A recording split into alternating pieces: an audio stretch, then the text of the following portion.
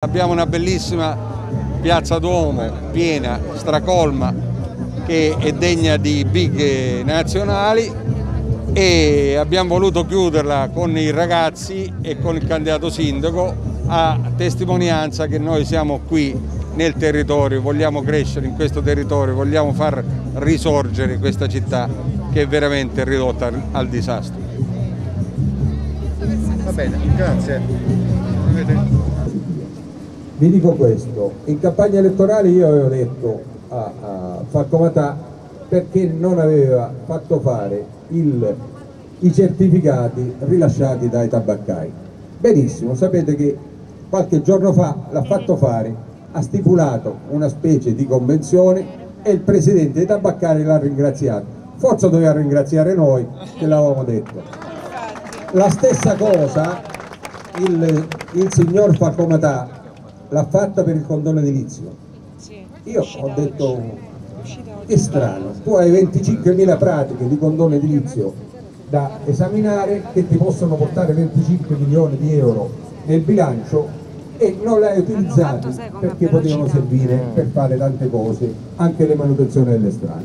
Bene, dopo una settimana ha fatto la delibera che dà l'incarico agli uffici per andare avanti ma se sarà lui non le porterà avanti perché non sa nemmeno dove iniziare, non sa dove iniziare.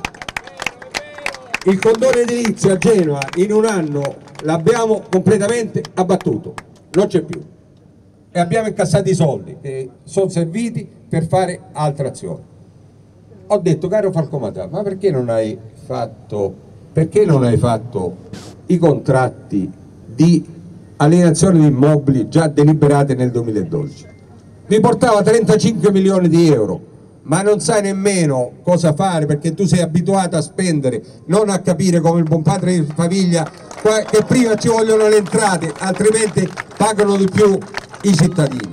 E così noi abbiamo che la tassa dei rifiuti è al massimo, la più alta in Italia e il servizio è il più scadente in Italia. Fa schifo una bellissima campagna elettorale, veramente intensa, una campagna elettorale anche calda perché l'abbiamo fatta in pieno, pieno agosto e metà settembre, una bellissima realtà che io ho visto nel, tra la gente, la gente che si è avvicinata sempre di più a me e mi spinge verso questo traguardo che sicuramente noi avremo lunedì sera la conquista di Palazzo San Giorgio.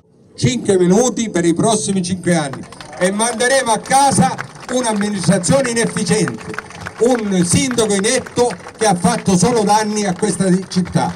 Il disastro è sotto gli occhi di tutti voi, vi prego datemi una mano per cambiare questa città. Vi ringrazio, buona serata a tutti.